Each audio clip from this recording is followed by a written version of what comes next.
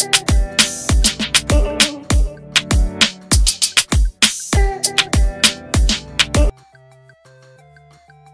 ืบคดี ปริน อดีตรองหนปชปกระทำผิดทางเพศอายการฟ้อง 12 คดีสารยกไปหนึ่งรองโฆษกอสสเผยคืบคดี ปริน อดีตรองหัวหน้าปชปกระทำผิดทางเพศ อายการฟ้อง 12 คดีสั่งไม่ฟ้องหนึ่งสารยกฟ้องหนึ่งที่เชียงใหม่ อยู่ระหว่างพิจารณาอุทธรณ์หรือไม่ เมื่อวันที่ 7 กรกฎาคม 2566 นายโกศลวัฒน์อินทุจันยง รองโฆษกสำนักงานอายการสูงสุด เปิดเผยกรณีที่มีผู้สื่อข่าวสอบถามความคืบหน้าในคดีที่พนักงานอายการรับสำนวน นายปรินพานิชพัก อดีตรองหัวหน้าพักประชาธิปัตย์ ปชป ที่ถูกดำเนินคดีความผิดเกี่ยวกับเพศว่า สำนักงานอายการสูงสุดได้รับสำนวนจากพนักงานสอบสวนรวม 13 คดี โดยมีที่เกิดเหตุหลายสถานที่ แยกสำนวนดำเนินคดีตามที่เกิดเหตุ พนักงานอายการพิจารณาคดีตามพยานหลักฐานจากสำนวนการสอบสวนแล้วมีความเห็นสั่งฟ้องผู้ต้องหารวม 12 คดีสั่งไม่ฟ้องหนึ่งคดี โดยสารยกฟ้องไปแล้วหนึ่งคดีที่ศาลจังหวัดเชียงใหม่ ซึ่งคดีที่ยกฟ้องขณะนี้พนักงานอายการอยู่ระหว่างคัดคำพิพากษาเพื่อพิจารณาในการยื่นอุทธรณ์คดีหรือไม่ ส่วนอีก 11 คดีขณะนี้คดีอยู่ระหว่างดำเนินคดี สืบพยานโจทย์หรือรอการสืบพยานตามวันนัด ในศาลอาญากรุงเทพใต้เป็นส่วนใหญ่ซึ่งอายการจะดำเนินคดีตามพยานหลักฐานที่ปรากฏ ตามกฎหมายและให้ความเป็นธรรมกับทุกฝ่าย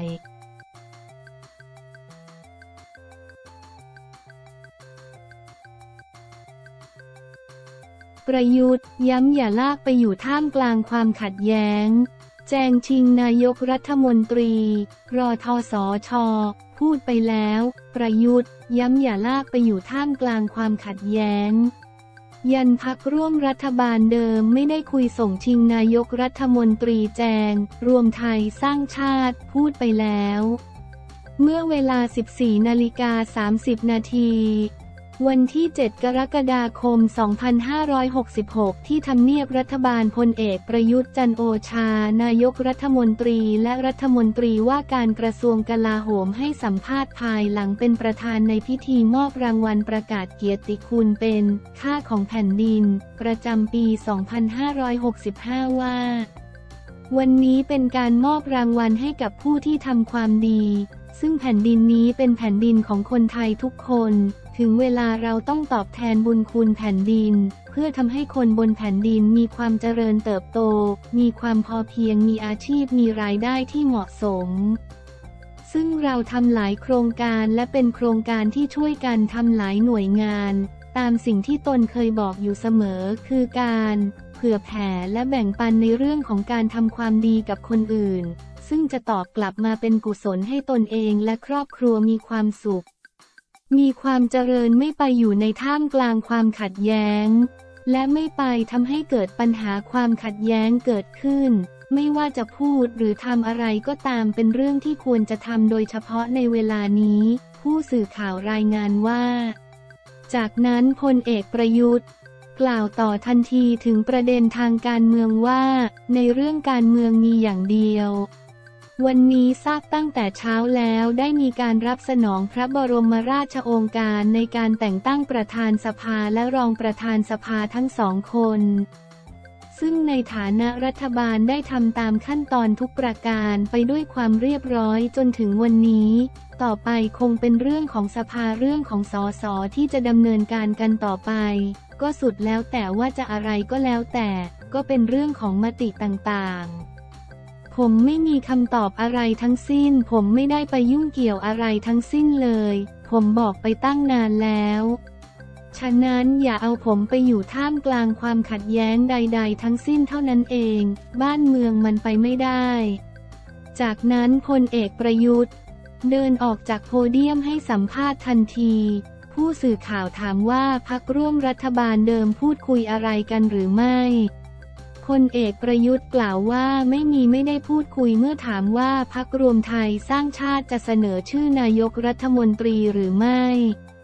และยืนยันหรือไม่จะไม่มีการเสนอชื่อคนในพักรวมไทยสร้างชาติ และเสนอชื่อคนในพักร่วมรัฐบาลพลเอกประยุทธ์กล่าวว่าก็เขาพูดไปแล้วพูดไปแล้วไงเล่า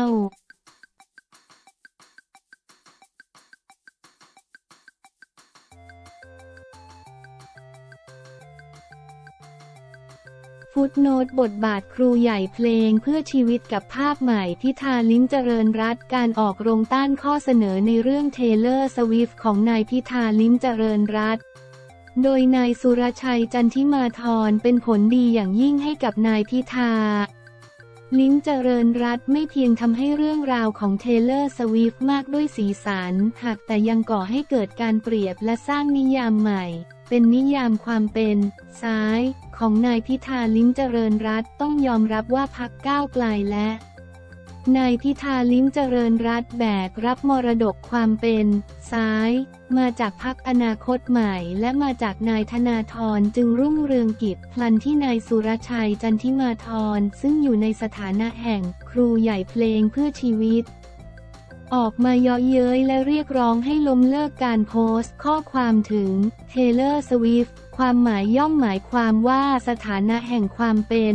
ซ้ายของนายพิธาลิ้มเจริญรัตมีความต่างจากบรรทัดฐานแห่งความเป็นซ้าย โดยพื้นฐาน ก็เพลงเพื่อชีวิต เป็นรูปธรรมแห่งเพลงอันสืบทอดมาจากยุคของจิตภูมิศักดิ์ของสุธรรมบุญรุ่งมิใช่ หรือเท่ากับนายพิธาลิ้มเจริญรัตต่างจากจิตภูมิศักดิ์สมญานามของนายสุรชัยจันทิมาธรที่ว่า ครูใหญ่เพลงเพื่อชีวิตมิได้ได้มาจากโชคช่วยหรือเพราะความบังเอิญ ตรงกันข้ามมีผลงานและมีการปฏิบัติที่เป็นจริง เป็นการปฏิบัติในทางการเมืองตั้งแต่ก่อนเดือนตุลาคม 2516 และที่สำคัญคือหลังเดือนตุลาคม 2519ในยุคเดือนตุลาคม 2516 อาจรับฟังได้จากเพลงคนกับควายหรือตายสิบเกิดแสนขณะที่ในยุคหลังเดือนตุลาคม 2519 เพียงฟังถังโถมโหมแรงไฟเพลงเดียวก็เพียงพอแล้ว พลันที่ครูใหญ่เพลงเพื่อชีวิต ออกมาเยาะเย้ยถากถางแนวคิดในแบบของนายพิธาลิ้มเจริญรัตสถานะแห่งความเป็นซ้าย ในแบบของนายพิธาลิ้มเจริญรัตก็ไม่มั่นคงเพราะหมายถึงความแตกต่างไปจากบรรทัดฐานอันวางเอาไว้อย่างหนักแน่นจากจิต ภูมิศักดิ์นักคิดนักเขียนยิ่งสังคมให้ความสะใจกับการแสดงออกในเชิง ซ้าย ของนายพิธาลิ้มเจริญรัตว่าเป็นเรื่องตลกยิ่งทำให้กระแสต้านอันมาจาก นักร้อง ทั้งหลายกลายเป็นเรื่องหน้าหัวรอขณะเดียวกัน ก็สถาปนา ซ้าย ในแบบก้าวไกล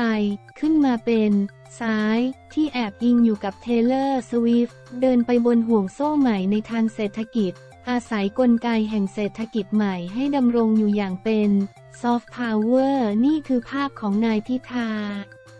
ลิ้มเจริญรัตน์อันมีผลสะเทือนต่อพรรคก้าวไกลอย่างลึกซึ้ง ทรงพลัง